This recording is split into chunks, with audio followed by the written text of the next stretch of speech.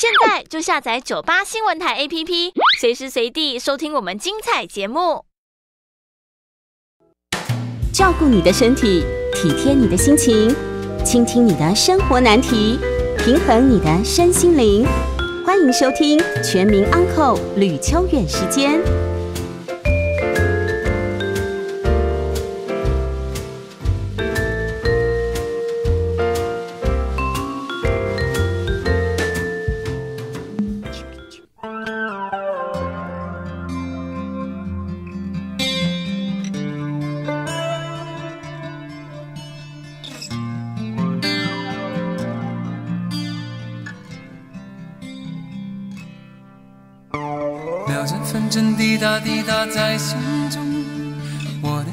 闪烁闪烁好空洞，我的心跳扑通扑通地阵阵悸动。我问自己要你爱你有多浓，我又和你双宿双飞多冲动，我的内心忽上忽下地阵阵悸动。明天我要嫁给你了，明天我要嫁给你了。要不是每天的交通烦扰着我所有的梦，明天我要嫁给你了，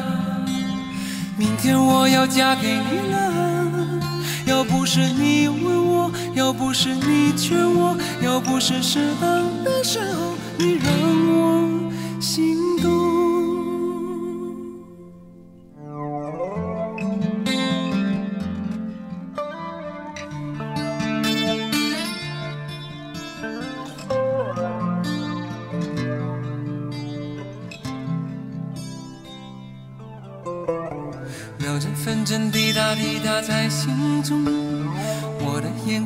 烁闪烁好空洞，我的心跳扑通扑通地阵阵悸动。我问自己要你爱你有多浓，我又和你双宿双飞多冲动，我的内心忽上忽下地阵阵悸动。明天我要嫁给你了，我要嫁给你了。要不是停电那一夜，才发现我寂寞空洞。明天我要嫁给你了，明天我要嫁给你了。要不是你问我，要不是你劝我，要不是适当的时候你让我心。呃，晚上好，欢迎收听九八新闻台每周晚上八点播出的吕秋远时间，我是吕秋远啊。那么刚刚各位听到这首歌是周华健的《明天我要嫁给你》。那么这首歌其实，嗯，我觉得啦，我很呃要讲，我我我最近哈，其实我在访问来宾之前，我我觉得我要讲一下那个心得，就是我前两天又在载我的员工，然后去开庭。那开庭的路上呢，我就放了一首歌，我还记得是。是谁呀、王杰，王杰，各位听过吗？王杰，王杰很有名啊，一场游戏一场梦是吧？这么有名的人，他竟然跟我面无表情的说他是谁。然后呢，我说，哎、这些歌你没听，那你有没有看过一部电影叫《七匹狼》呢？他说那什么东西？呃，那你有没有听过《东方快车》？他说哦，动力火车我知道。你知道吗？这 这时候我就会突然觉得我在干嘛、我后来说我不跟你讲了，因为我跟他解释台正销的时候，我发现他可能只听过台智源，不一定听过台正销，所以我想算了，我不要再讲了。我就说嗯，好，我们等下来讨论一下开庭的细节，我不要再跟你讲这个了。那刚刚听到周华健这首歌，其实也是很早的歌了。那我们选出这首歌哦，其实今天要来谈的是一本书，今天是我们读书的时间哦。那么。呃，跟婚姻有关系，但是这个婚姻呢，并不是我们现在看到的说我们当代人的婚姻是什么状况哦。那么今天邀请到这位来宾呢，其实呃，在前几个星期我们呃节目企划跟我谈到呃这位来宾的时候，我心里就想哦，其实我有很多的嗯朋友都是在网络上什么意思呢？我们从来没有见过。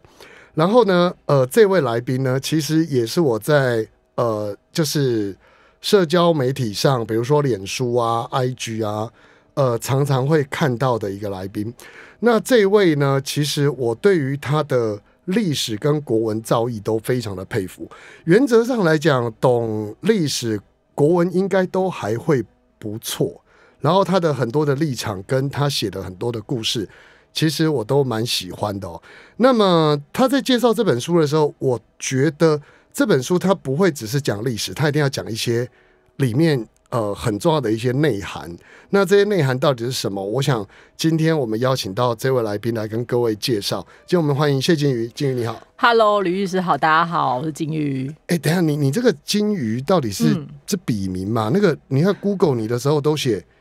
谢金鱼本名。对，因为这是笔名，这是以前就是大学的时候写 PTT，其实我真正真正的原本的笔名叫暴走金鱼，但是听起来真的是太就太中二了，所以后来要出书的时候就说可不可以不要这种这么中二？那我就想说，因为我本来姓谢嘛，那我就我们家的开台组其实就叫谢金鱼，这是他曾经用过的名字，所以我就说，那我就把它叫谢金鱼，或者其实我是谢金鱼二代目。OK，我刚在我们刚节目刚开始的时候，我有大概呃跟你了解一下你的背景，你好像都是学历史，对，我是成大跟清大历史系，诶，历史历史所这样，嗯。是那一开始你选历史这个原因是什么？从小就很喜欢啊，我从小就觉得我就是一个喜欢读历史，然后我喜欢看各种就是关于历史书的小孩。然后我妈那时候也想说，就是有没有考虑就是做别的事，可是我就跟她说，我本来就是做这个，我大概就是也就是习惯，我觉得这个我很擅长。那我妈后来就觉得说，OK，那你就适性发展。所以我考试那个大家不是都会考联考都都会有那个弱点分析嘛？对，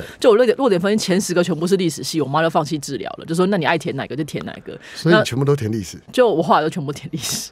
然后所以我第一个就是去成去成大这样子。那你你到底有没有想过说，当时有没有想过念历史，接下来你要做什么？我那时候其实没有想那么多，可是因为我很喜欢写东西，所以我都想说，嗯，写东西可能可以成为我的一个谋生的技能吧。但是就没有想到，哦，这还是真这个直觉是真的。所以后来我这人生当中就是一直以写作当做我主要的这个职业这样。好棒哦！大学就知道自己可以靠写作。因为我小大学的时候是个同人女，就是大家就是我可是就是 BL 始祖，OK，那时候就很喜欢看这种同人的东西这样。因为我其实我自己也很喜欢历史。我在呃小学的时候，我就把哥哥几乎全部空白的国立编译馆的历史课本拿来看，嗯因为我没有别的东西可以看。没有什么课外读物，对对，对？然后你就会看国中的历史课本，觉得、嗯哇，他写的好有趣哦。所以其实我也很喜欢历史。那看到这本书，这本书呢，各位我先介绍一下，它叫做《丝路新娘》。丝路就是那个，就是那个丝路啊，新疆啊，哦，嗯那个呃中亚啊，那个丝路。像里面，我我我觉得里面蛮有趣，我们来讨论思路新娘。那么副标题是“自古以来，婚姻都是一场冒险”。对，呃，你刚提到，就我们刚才闲聊的时候，你提到说，其实你的硕士论文是写利特人的呃婚姻，呃，粟特人，粟特人的粟特人的婚婚姻，因为我那时候第一个是觉得，我那时候其实在读书的时候，大大学的时候，我意外发现的一个买婢买婢女的契约，所以那时候我就觉得很好奇，就是这个婢女叫做胡婢，她是胡人，然后她是婢女，那她被一个女人买走了之后，她就要去别的地方，所以会有这个契约的正本这样子。那这个女孩子她后来的结果是怎么样？她怎么样生活？当时的中国或当时的唐帝国是怎么样跟她有什么互动或什么样的规范？我就对这件事情非常感兴趣。所以因为她是婢女嘛，那我们知道婢女其实当时对婢女的状况不是特别好。那如果是一般的女性，这些胡人的女性，她在中国怎么样生活？所以我后来就开始这个研究。我昨天看到脸书上一个贴文很有趣，他还说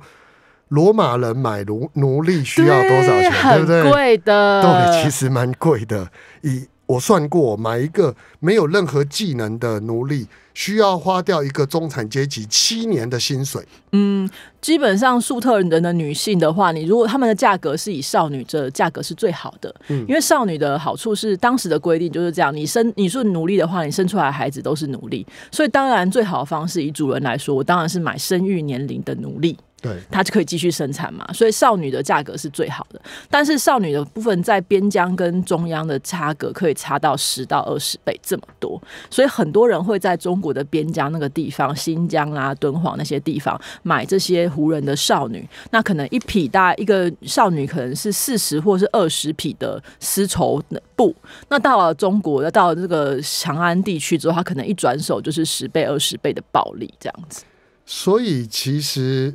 呃，要买当时如果要买奴隶，大部分都到敦煌那一带。就是会透过，就是它其实人口贩卖就在当时的中国是那个奴婢是跟口，就是叫口马市，就是奴婢跟牛、跟驴、跟马、跟狗狗是放在同一个地方买的。那所以很多人就会想说，我要买这种高价的、嗯好漂亮的、聪明的、年轻的奴隶，我就去现场产地现买这样子。好，这个我们待会来谈但是你这本书的开头，我我其实，在看你这本书的时候，我有一个想法是。为什么你要把马继业跟卡萨凯撒林的故事放第一个？因为哎我会觉得你后面讲的章节，这本书里面有谈到中国的和亲政策，嗯然后也有谈到中国的，就是过去在我们讲说十九世纪以后，呃，包含说我们和亲的到西藏或者到其他地方和亲的公主，然后还有呃，我们刚刚讲说粟特妻子这这些，可是我很好奇的是，为什么一开始你看我一开始还误以为那个马嘎尔尼就是那个乾隆时代的马嘎哦，尔尼，他们家是亲戚，没错。对，因为叫马嘎尔尼的应该也不不是很多多啦。那个就像说，其实我们历史看都知道，这个姓大概从哪里来。你里面有提到啊，比如说哪些姓他可能是边疆民族嗯，过来的。但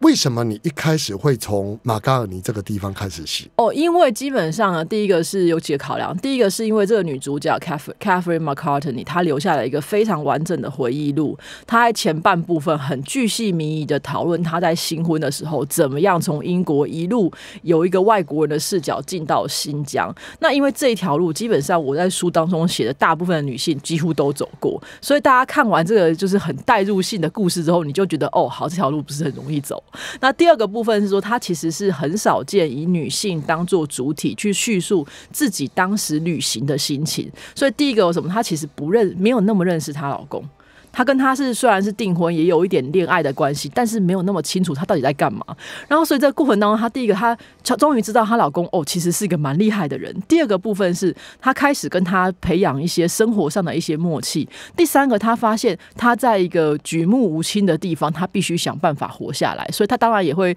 在故事当中就说，她那个爬山爬到一半的时候，就是全身都很僵硬、很累、很痛、很苦、很苦，然后就那个毛毯裹着被子，就一直在棉被里面哭，说我好想要回家。可是隔天你眼泪擦一擦，你还是得继续就是走这条帕米尔高原的路这样子。所以这是一个我觉得非常珍贵的文本，也是我们在讨论丝路的新娘这些女性的故事当中唯一一个有这么明确而且很巨细靡遗的写到自己心迹的东西。因此，我觉得它很值得放在第一个，让大家认识说，哦，这条路真的不是很辛苦，哎，不不是很容易。所以，那我们后面的话，我们就不用一直在重复说，哎，大谁又去了什么地方，谁又去了什么地方，这样的话就读起来大家就会觉得有点就是云里雾里这样。所以这个文本你大概是什么时候看的？这个 McCartney 的这本书，我大概应该是在二零一八一九年的时候，因为我对于呃他的先生马基业，我觉得很感兴趣。其实我本来是要研究他先生，然后想要研究他跟这个当那这样叫 Great Game，就是整个在中亚跟俄国跟英国这个角逐的过程当中，他们怎么样运用这些谍报组织，怎么样运用这些探险队去做研究，然后做这些就是政治上的、外交上的角力。我是要研究他。但是就没想到看到这本书，就觉得哎、诶这本书就被他牵走，这本书比较有趣，所以我后来就把这本书读完之后，然后再做其他的相关的研究，就把它组合成了这篇文章。因为我觉得一开始在看你这本书的时候，比较像什么？我以为你要写凯撒林的故事，嗯，然后从头写到尾。然后我慢慢看之后就发现，哎，不对啊，这个部分到一个结束了。但是，呃，身为一个读者，我像我就会想要请教你是说，这个人在你整本书里面，你希望带给读者的呃，就是感受，嗯，或作用是什么？呃，另外还有一个很重要的作用，就是我们接下来看到的这些粟特的女性，或是和亲公主，然后提到的这些人物，很多这些资料或这些考古资料，是因为 Catherine McCartney 他们写，他在他经过他。他们家的这些探险队带出来的考古资料，所以我们今天讨论到了很多的这些细节，除了正呃我们官方文书有的东西之外，另外一个很重要的就是敦煌文书考古的资料跟相关的东西。那这些探险队都曾经经过他的家，所以这是一个很有趣的巧合，就是我们今天讨论一个丝路新娘，然后这些曾经经过他家、曾经被他招待过、曾经跟他交流过许多这些心得的男人们，再来去在中国的新疆跟其他地方找到了其他新娘们的故事，所以有它的概念对我来说，它有点像是一把钥匙，把这些女人的故事一个一个打开，这样子。OK，凯撒你的故事，其实，在金鱼的写法里面，大概有将近应该差不多五分之一到四分之一，嗯差不多嗯好左右的左右的篇幅。那这里面很多描写，诶这凯撒你的心境你怎么去描述？一方面就是我觉得大家我在写那个故事的时候，其实我才刚准备要踏入婚姻，所以我就觉得很多地方我都可以了解他为什么会那么挣扎。然后我们就把这个心境的部分，但是我还要跟大家讲，就是虽然是一个我刻意有点用了小说的手法去写它，但是在这本在 Catherine 的故事里面，基本上每一个地方都是有考证过的，全部都是确确切有此事这样子。对，例如说马继业啊、杨大人等等。好，我们广告回来继续聊。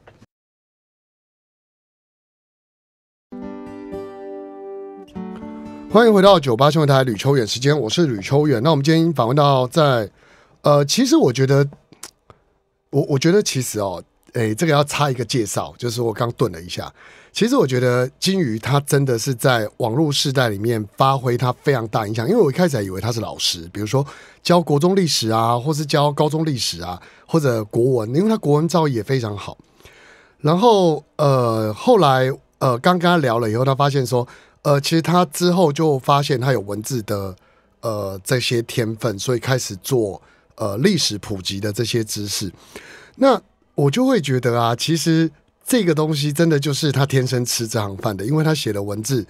都相当的有趣生动，而且能够让我们很快进入历史世界哦。所以刚讲完这个，呃，我们前面讲马继业、凯撒林的故事之后，从他那包裹开始，你第一个谈到的是粟特新娘叫米维，对，是一个虎系。可是我们要先了解一下，因为观众呃听众可能对于呃粟特这个族不是，我们听过匈奴、鲜卑，嗯嗯嗯但我们没听过粟特。粟特是什么？然后我跟大家定义一下，粟特就基本上呢，就是这些人目前是住在中亚的乌兹别克跟塔吉克流域一个叫泽拉夫善河的流域上，这是第一个地理上的限的的一个圈呃限定。第二个部分就是他们所讲的语言是粟特语，那这个粟特语是属于东伊朗的语言支系中的一个。那这个粟特语怎么来的呢？我们其实就是刚刚讲那个吕律师讲的这个个包裹当中的信，还有这个考古资料里面，我们发现，哎，这个文字没有看过，哎，然后经过很多的语言学家，大概经过了一百年的解译之后，我们终于发现这个语言是确定叫粟特文。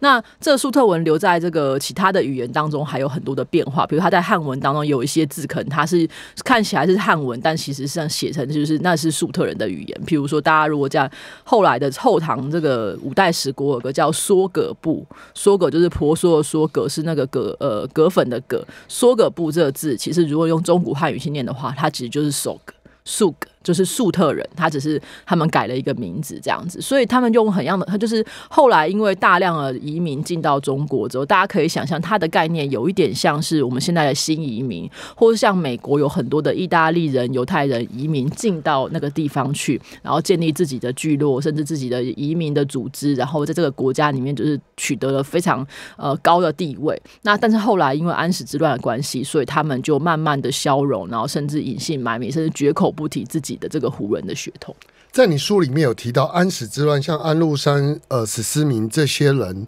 他们那个安跟史是不是其实就是粟特人的姓的特征之一。对，就基本上他们进到中国的时候，大家可以想象一个情景，就是你是一个安国来的粟特人，你进到中国的户口，说不好意思，我要报户口。那这个官员就问他说：“哦，那你来自哪里？”你就说我是安国来的某某某某某。他后面那个他根本听不懂，说：“哦，安国是吧？那你就姓安。”所以很多这些来自安国人，通通都被冠一个姓安，或是姓石、姓毕，然后姓何、姓曹。所以各位听众朋友，假如哦你是以上这些进士的话，那你很有可能你就是这些粟特人的后代。但粟特人看起来他比较接近塔吉克或维吾尔族呃，人吗？我们目前看到的这个呃图像文献的话，就是鼻简单来说就是鼻子尖尖，胡子翘翘，很像那个那个那个就这样讲又暴露我的年纪，就是 那个博朗那个那个金车那个咖啡就是钓鱼的那个钓鱼的叔叔的那个脸，就是标准的粟特人的脸这样。所以呃，粟特女性她现在也比较长得比较类似塔吉克族跟维吾尔族，对，就是哦，你说维吾尔可能呃，维维吾尔吾尔更立体。维吾尔是因为他们的祖先应该是所谓的回鹘，那有一点点不太像。但是大家如果看就是中亚的族群的话，就基本上他们其实还是黑头发，然后黑眼睛，但是皮肤是很白的，然后轮廓真的很深，就是很漂亮，非常的美。OK，所以这些新娘，呃，这八封信，我们刚刚提到第一位米维，嗯。为什么你会说他是虎妻啊？因为它是我们目前在女性的历史当中，就整个甚至是不只是亚洲，甚至不只是中国，是整个女性的历史当中，我们目前找到最早的一封信骂老公的信。OK，对，然后这这封信是怎么发现？就是刚刚讲的这个探险家，他跟马基业他们聊过之后，他到了敦煌。那这个人当然，如果大家有听对敦煌有兴趣，一定会知道这个人叫斯坦因。那他刚好在烽这个烽敦煌的烽火台底下就坐着，突然就发现，哎，怎么屁股底下硬硬的？拿出来一看，是一个布包，那里面就有八封信。他当时也不知道这是什么，所以这个封信后来不停的有学者去解读之后，就发现其中的两封是米维写的，一封是给他的妈妈，跟他妈妈求助说，哎，我现在生活的不是很好，可不可以就是支援我一些呢？那另外一个就是写给老公，那写给老公的信就很严厉，就是一个 最重要的一句话，其实就是说我宁愿做猪狗，嫁给猪狗，也不愿意当你的妻子。意思就是你是个猪狗不如的男人。那为什么他会这么骂他老公呢？其实你从前因后果当中，简单来说，他跟先生结婚之后，先生就跟他说我们要去中国去做生意。OK，这也也是理所当然，并他们是个商业的民族。可是当时中国其实非常非常的混乱，呃，就是什么八王之乱之类的事情乱七八糟的，所以很多粟特人其实都 pull 就是 pull back，都拉回到原本的原乡。但她老公就觉得可能就觉得嗯险地可入，这样就硬要去这样，所以去的过程当中，这个米维不只是她自己不想去，她的哥哥们兄弟们都跟她说你不可以去啊，这样，但老公就是一意孤行，所以把她带到这个敦煌的聚落当中之后，老公也莫名其妙，不知道哪一年就自己跑回去老家了，把米维跟她后来生的这个女儿呢就丢在敦煌，所以母子女两个人就很可怜的想尽办法生活，然后这过程当中他们也想要回去，可是当地的这个移民的组织就说，你要移动的话，这些事情是需要经过你丈夫或是夫家的亲戚同意，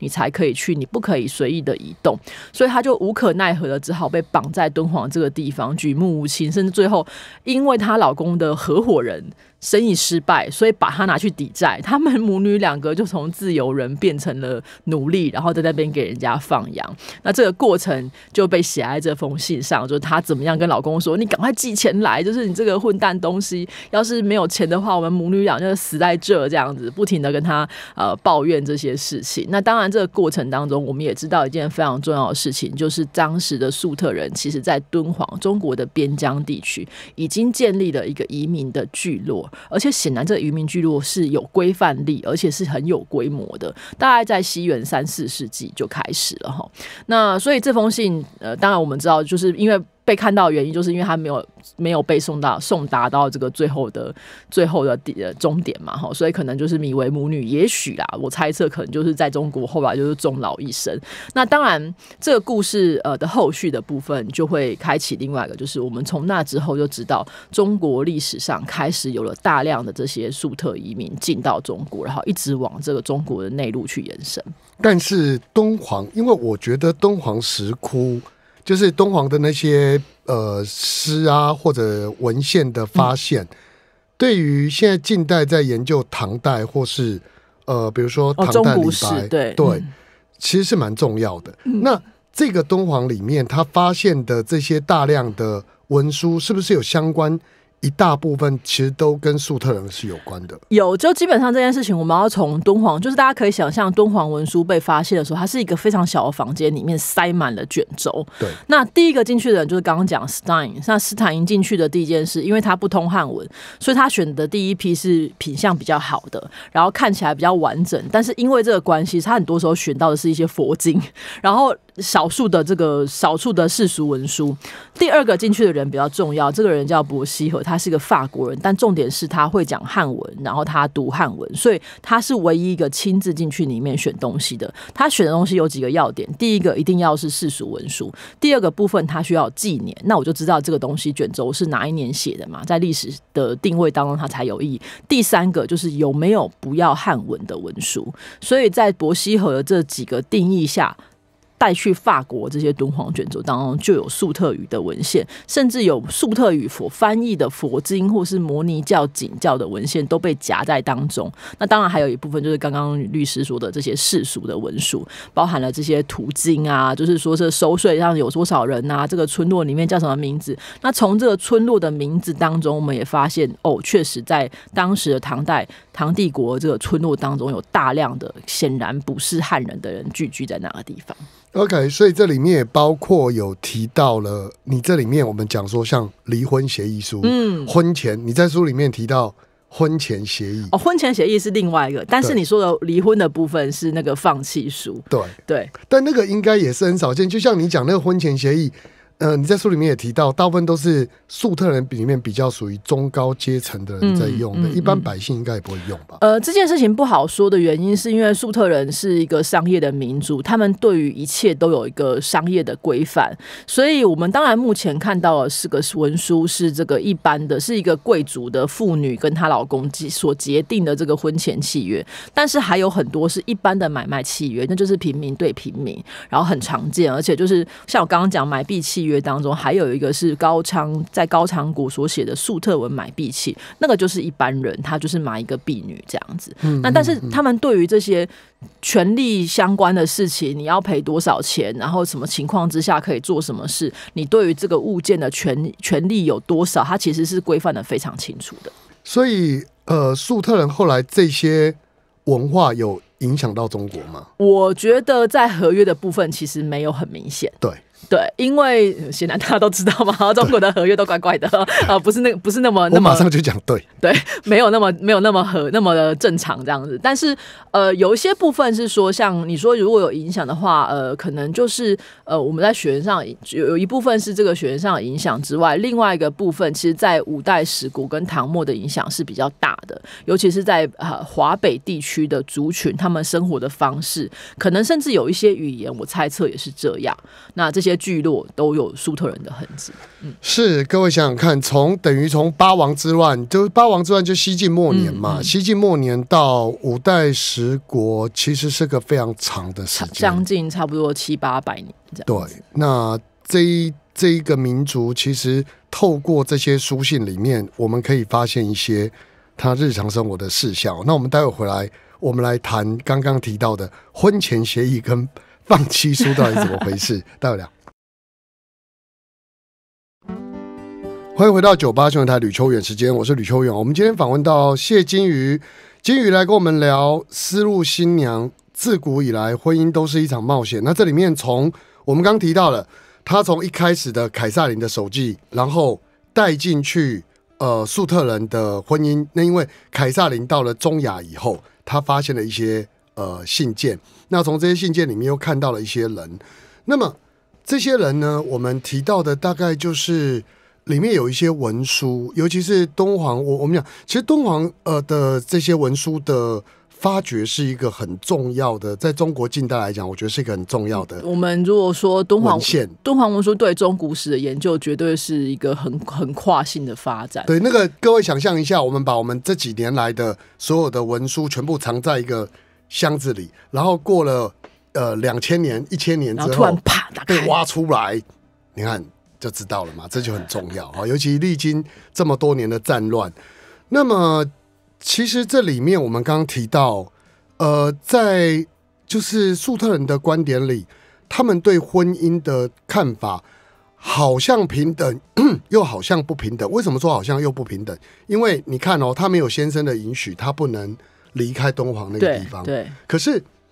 我们最有名的一件事，就好久好久以前，我写过一篇文章，有关于，因为我看到一个东西，我觉得很有趣，就是离婚协议书。嗯，放弃书，唐代的放弃书，对，就是就唐代那个离婚协议书，也是从呃敦煌那边，然后后来是呃，就是我们在看那个东西的时候，到了长安去，对，那在那个东西严格来讲，它不是敦煌文书的一部分。但是我的意思是说，就唐代的妇女地位也好，或者就当时敦煌的呃，你刚刚在书里面提到的婚前协议书也好，那是不是代表当时的妇女地位，事实上来说是到了宋代以后才又缩减？在唐代其实是 OK 的。宋代其实不能说是收减，说宋代女性的这这状况还是不错。其实真正就是大幅的下降，甚至女人是不可以独自去告官的。那其实是明朝之后的事情哈。那唐代的部分，我们在看女性的这个权利的时候，第一个是她的财产嘛，她能不能独自拥有财产？她能不能够甚至老公去世或是这个离婚之后，她能不能独自成为户主？这些部分在唐代的话，确实她是可以做到的哈。那当刚刚刚刚我们吕律师讲到说，呃，不可以允许这些就是独自行动这件事情，他跟他是父权社会绝对是有关系的，因为在婚前协议书当中，其实两造订立。合约的两造其实是男主角这个新郎跟新娘的监护人，嗯，好，只是说这个合约最后是交给这个新娘来保管。就是说，虽然他写的他后面写说这是猜特的文女妻妻子的文献，但是前面的定方的两造是女方的监护人。这件事情证明的一件事，就是第一个，他还是一个父权社会，只是在这个过程当中，因为男人必须常常要离开家，那所以妻子的地位跟妻子可以主掌的这些事情，他当然有一部分就大家就是允许你这样做哈。那至于放弃书的部分，放弃书是用汉文写的，所以它显然是一个汉，给汉人所使用的一个格式。但是我觉得汉放弃书至少有一个比较温柔的心意，他是没有谈论到这个放弃书里面，我记得没有谈论到财产的问题哈，没有谈论到没有，他有说他要给他钱哦给他钱，但是就是没有很明确的说赡养费，就是没有说就是我给你财产的一半之类的。啊不不不没有没有没有，他但他他主要的部分还是说就是我们两个人就是不开心嘛哈，那我就祝福你就是去去嫁一个新的老公如蛇鼠相赠。对，然后说希望这个七娘子可以重梳云鬓，然后将来找一个好的老公这样子。对对对对那这部分我觉得就反而是确实是一个比较温柔的心意。这部分在我们过去的文献当中，其实非常非常少讲到。那因为当然你弄到会离婚，通常都是两造，一定是呃就是闹得乱七八糟，还还有这样的一个部分，我觉得是一件好事。对，就是很罕见的这种祝福，嗯但它还是不能代表，其实，在唐代乃至于说在敦煌当时的边疆民族，他们对于女性的地位是比较平等的。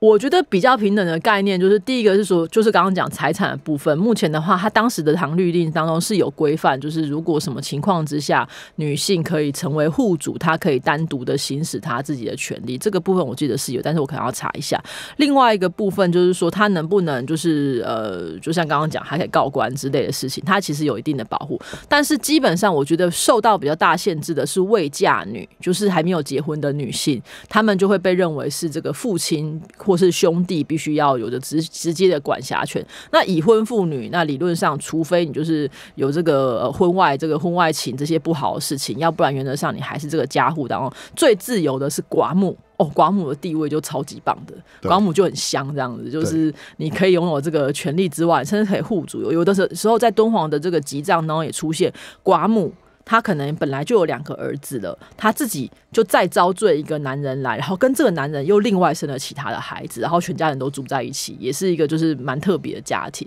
在当时他是可以这样做的，而且寡母有绝对的权利。OK，这个在明代应该很难想象，因为其实我觉得宋代就很难想象。你看嘛，陈怡、陈浩不是人家问他，学生问他说，这个呃，就是如果夫呃夫死可否再嫁？嗯，然后他就说不可，然后问了问他，那如果饿死怎么办？他就说妇女哦，饿死事小，就是失节事大。大家其实要知道，就是守贞守节这件事情，对于妇女来说是一个奢侈品。嗯，就是你要让他他守节，那你就要给他相应的这个赡养的东西嘛。那明代的话，基本上这些就是氏族的话，通常是大家族这样子。嗯对，所以其实其实如果就这个观点来看的话，嗯，妇女地位其实，在唐代来说，还是在父权社会的控制之下，只是稍微呃，比起后面来讲要好一些。嗯，对。那妇女当时可以独自上街吗？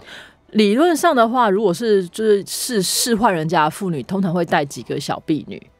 哎、就觉觉得说就不要不要独自一个人抛头露面这样子。但如果你是那种一般的凡夫走卒，那你还是得上街，然后不然你要就是你要去打工，要你怎怎么会有人一天到晚都陪你？所以这些妇女当当街卖东西是很常见。然后另外胡人的妇女很常被看到，就是在路边卖酒。比如说那个李白就很常去这种就是胡姬酒店，就会说这个胡姬当呃当卢笑春风，就问他说要不要来喝一杯这样子。OK，对，所以是当时是有这种情况的。所以其实当时的长安或敦煌在呃书里面所描述的都是比较国际化的。唐帝国绝对是一个多移民的社会，不只是只有粟特、匈呃，那刚刚讲的突厥啦、回鹘啦，甚至是东方的渤海、日本、新罗，它是一个人种非常非常混杂的情况。对，呃，然后大家都会来，那所以呃，现在去日本的话，大家知道那个空海大师，他当年就是留学生嘛，然后跑来中国这边读书，这样遣唐使。对对对，所以那时候都是很多这种人，然后甚至也有人就是哎觉得中国人蛮棒，他们就去考所谓的兵贡进士，然后想办法在中国当官这样子。但是在就是在你的书里面，其实比较少描述到当时的那个部分，我们还是着重在呃，就是那八封信里面，就那八封信里面还有什么特别的？那八封信里面其实还提到，就是也除了就是女米维这两封信是女性写的之外，其他的部分都是男性。那他们主要是回报第一个。中国当时的状况非常混乱。第二个部分是交代商业上应该要怎么做，然后还有一个是一个父亲，他显然是被被老板派去那边去收账，然后发现哦糟糕，这个这个状况不是很好。他写信是交代后事的，他就说我来这边可能会死在这，那我如果死的话，就是我有欠了什么钱，我我在外面有放了什么债，麻烦老板你帮我收一收，然后给我儿子。那我如果出了什么事的话，你要帮我做什么什么事？就是他们之间其实有一个很明确的交代说重点是钱要怎么样分配。OK，那当时那八封信用什么写的？都是用粟特语写的，然后写在那个有点像是这种呃，不能说纸莎草，就是吃在纸纸卷上，所以造纸的技术其实显然那时候已经是非常纯熟了。对啊，但是为什么它能够流传这么多年？因为干燥啊，就是就是考古学有一句话叫“干千年，湿千年，不干不湿你就两三年”。就是如果你是很干燥的话，它当然可以阻绝就是这个呃水分的侵袭嘛。那如果很湿的话，它也是一样浸在水里之后，尤其是通常会用这个盐或什么的话，它可以保持一个稳定，那也是这样阻绝空气。但是如果你那样浮在那边的话，就是湿哒哒就会一下就会腐坏了。那那一些东西后来呃里面有提到为什么没有寄出去吗？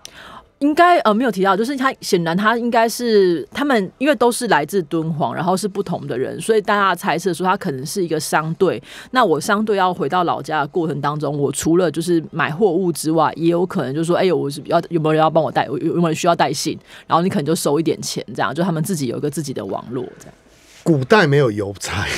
对应该说呃民间没有邮差，他就是一个就是私人的黑猫宅急便直送这样子。所以当时的商队到了敦煌之后，然后就收信，收信之后要回去，结果在路上就忘记了。也可能就被杀掉之类的。其实我觉得都 不好说我觉得这是一个很浪漫的想象，是啊，然后就放在那里就忘了。但对那八个人来说，可能蛮生气的，是说为什么我寄了信没有回？对，所以那时候的等待其实是非常长的，可能就等了一辈子，想说那怎么都没有回来，是还活着吗，还是怎么样？嗯，对啊，就是我们上次呃不是上次啦，我们在呃小时候念过的嘛，就是烽火连三月，家书抵万金为什么家书抵万金？因为不是 email 一寄就会收到的，当时的情况就是一隔绝就会很严重，没错。所以那时候又是八王之乱。对，就是主要是他当时其实呃思路，大家想象的思路是一条直的路，其实不是，思路其实是点状在跟着绿洲或是跟着山脉的下缘就是走，所以那其实是蛮危险的。有时候你如果跟着河流的话，可能河流走到一半它突然不见了，就没有河流，那你可能就死在那。那在过程当中还有包含了可能有土匪抢，可能还有其他的事情这样子，所以风险非常高。对，尤其是如果在乱世当中，那个地方没有人管理的话，那问题会更多。但那个那个那条路线，它跟呃里面你有提到张骞通西域那个路线是一样的吗？哦，就张骞通，其实目前我们知道，光是就是从这敦煌到中亚，至少有三四条路，一个是这个草原道走蒙古高原的部分去，另外一条是这个天山南北路，然后还有一条是走茶马底下过去。所以这些路线的话，大概都可以看到，主要为什么串起来原因，第一个是说这附近上可以有连接起来的城镇，那这些城镇、这些聚落怎么样建立起来，就是因为这些移民他们可能哎在这边觉得不错。那我们可能就先住在这边，先开一个城镇，先有了城镇之后，成为这个点状的这个货物的聚散地，这样子。OK，所以这其实是一连串的聚散地所构出来的一条很漂亮的道路。我们赶快来继续聊。欢迎回到九八新闻台吕秋远时间，我是吕秋远。我们今天访问到谢金鱼，金鱼来跟我们聊他的这一本新书叫《丝路新娘》。事实上，呃，金鱼他写了非常多文字，如果各位有兴趣的话，可以在脸书上或者呃，光是你在 Google 上输入他的名字，就会看到很多相关性的文章。这个叫做身兼学术跟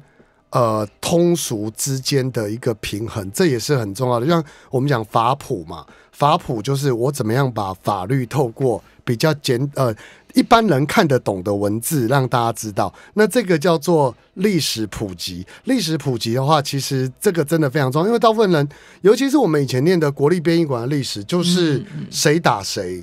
然后，呃，三国时代怎么并吞？当然，现在有人在抗议说什么怎么少那么多东西。但我跟各位讲，真的自己要去看呐、我我对历史有兴趣，我从小就会去看。我还记得说，哦，以前更无聊，我会去背鸦片战争等于呃西元几年，嗯然后呃这个英法联军，嗯然后签订的，你要，以前好好可怜，南京条约、天津条约、北京条约。A B C，这是你要排先后顺序哦对。哎、我现在都想说，我背以前小时候你不知道，你只觉得你背起来这个好厉害，后来你这样说，我背这个到底要干嘛？没有意义啊。那你你今天其实要看历史，是要看那背后代表的意义嘛？比如说，我们今天其实，在讨论这本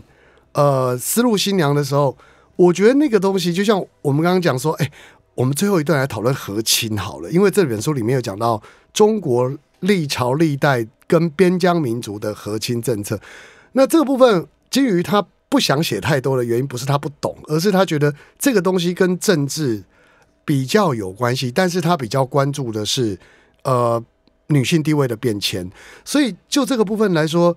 其实我觉得他在这个地方的描述是非常呃，就是。呃，我们讲叫普及到我们日常生活当中的那这个部分，我当然想请教金宇，就是说，你从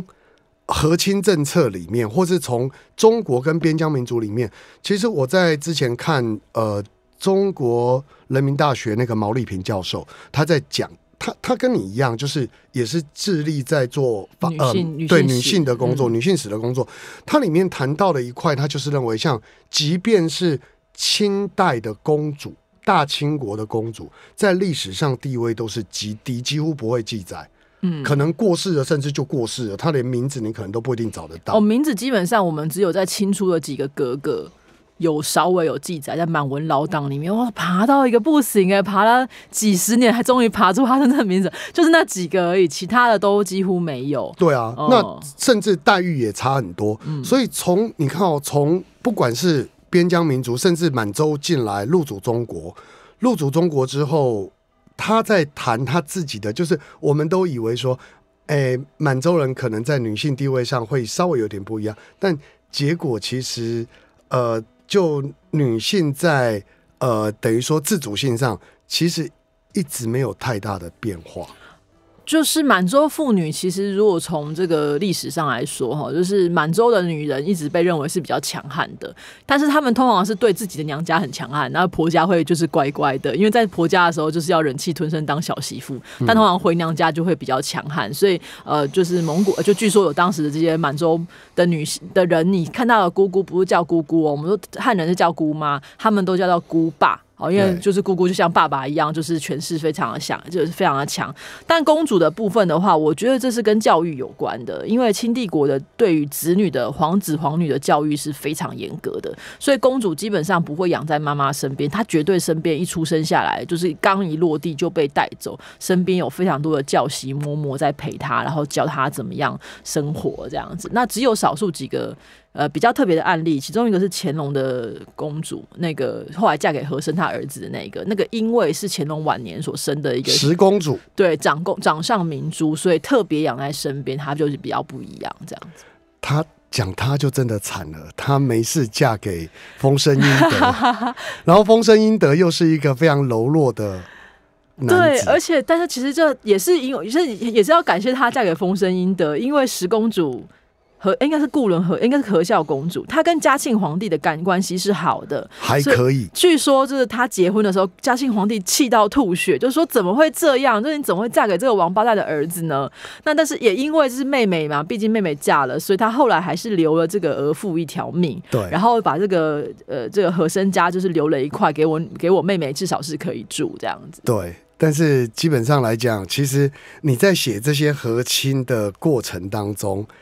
你自己呃觉得这个给你的呃，就是说在你在整个讨论思路新娘里面，她扮演一个什么样的角色？我觉得讨论角色是第一个是婚姻的影响，其实除了我们个人的这个生命的部分之外，很多时候的婚姻是对于世界的影响，甚至对于国家的影响是大的。那我在讨论到这些和亲公主的时候，我的我自己在写的时候的想象是，我觉得她们很像是手里拿着非常多的丝线，然后每一条都会通向某个地方。那有能力的公主，也许有机会在这个很精心、很仔细、缜密的过程当中，把手上这些凌乱的线组成一副可以被控制的一个一个织锦，然后最后是一个好的样子。但也有很多公主是她根本没有这样的能力，因此到最后的时候，她甚至必须要像像我讲在故事里面讲到这个金城公主嫁到西藏的金城公主，她甚至最后是必须用一个非常非常可怜卑微的方式写信给唐玄宗说。我嫁来这边是因为爸爸父皇要求我来的。那我在这里其实连跟老公讲话都要透过有个人去讲说什么事情。那你现在不同意这个合约的话，我在这里的日子是过不下去的。能不能够求你，就是哥哥，你看在当初这个状况，你能不能赶快同意签了这个合约？那你在看一个公主，她写那个文章写的非常非常浅白，绝对不会是不会是那个读过书的人写的啦，一定是她自己或者她身边的，可能就是这些小太监什么妈写。公主做到这程度，当然，当然也有其他的部分是，呃，真的就是很有能力的公主。那这些很维系的状况，你如果对应到现在，其实就像我们现在这些有能力或者没有能力的外交官在做的事情是一样的。只是现在外交官有任期，你甚至不爽，你可以说我辞职不干。但当时的公主不行，他们的婚姻跟生命、跟整个外交、跟整个中国、跟整个世界的这个局势是被绑定在一起的。是，其实《丝路新娘》这个呃，在这个著作里面，他除了讨论个人之外，也讨论到了整个这个女性，她到了其他边疆地方去，或是到其他国家去，她所扮演一个角色。文成公主也是嘛？嗯那你刚刚讲金城公主也是嘛？那这里面很大一部分在唐代，所以后来你后面写的就越来越短。因为第一个是蒙古的蒙古的公主确实是很有权力，但蒙古公主已经有本书，大家去看那本书就可以了。然后。而且蒙古公主因为是游牧民族，他们一出生，只要是游牧民族的这些部族的妇女，一出生就被预期要去统治，所以这些蒙古公主是非常强势。大家如果去那个有看过韩韩呃韩国电影，有个叫《双花店》，蒙古的公主是带着浩浩荡荡的武力直接进到高丽去的这样子。但是到了呃清朝的时候，一方面是因为他们就刚刚讲教育的部分，他们虽然大量的跟蒙古联姻，目前我们知道登记在案的公主格格跟蒙古联姻可能至少有四百位以上，但是他们实际上能够发挥的作用也好，或记录其实是非常少的。是的，所以其实透过这本书，我的结论会有点沉重啦，就是希望呃，透过这本书，我们可以了解女性在过去历史当中，她所扮演的角色，跟她比较被物化的命运，嗯嗯，然后也希望这些事情不要再发生。例如，